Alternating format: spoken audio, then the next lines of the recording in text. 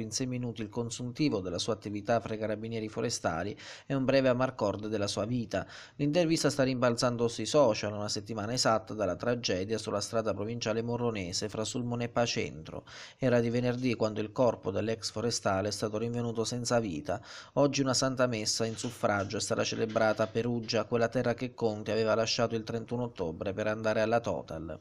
La discarica più grande d'Europa di Bussi sul Tirino con tutte le indagini conseguenziali, il rinvio a giudizio e le condanne effettuate a quelli che sono i titolari o comunque coloro che eh, eh, per quanto attiene la creazione e la tenuta in opera di quella discarica eh, sono sicuramente un, una bella soddisfazione operativa per chi comunque ha conseguito quel risultato aveva detto Conti rispondendo alle domande dei giornalisti. Poi ha parlato anche di come negli anni è cresciuta o meno la sensibilità ambientale. Sono sempre stato dell'idea che il popolo italiano sia sempre di classe, aveva aggiunto l'ex forestale. Sono passati sette giorni da una tragedia che ha messo in ginocchio la città, ancora sotto shock. Si cerca la terza lettera spedita a chissà chi. Conti è morto dopo un colpo di pistola che aveva ricevuto in dono pochi giorni prima da un amico dell'Aquila, sparato a bruciapelo alla tempia. La Procura della Repubblica di Sulmona che indaga per istigazione a suicidio sta ricostruendo gli ultimi movimenti dell'ex forestale,